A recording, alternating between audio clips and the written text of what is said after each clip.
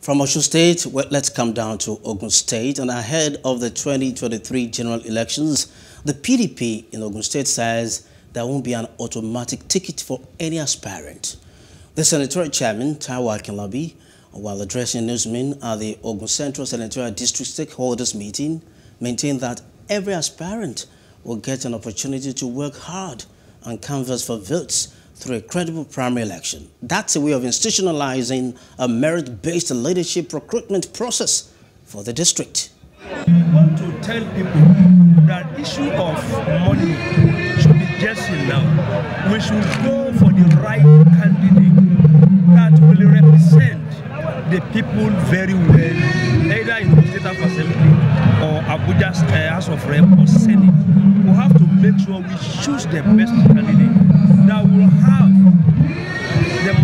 our people to represent them, not to fight for his people.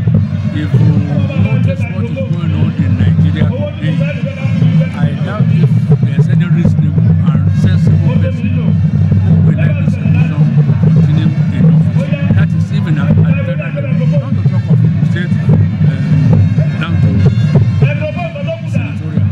I can assure you if election is Hello. Hope you enjoyed the news. Please do subscribe to our YouTube channel and don't forget to hit the notification button so you get notified about fresh news updates.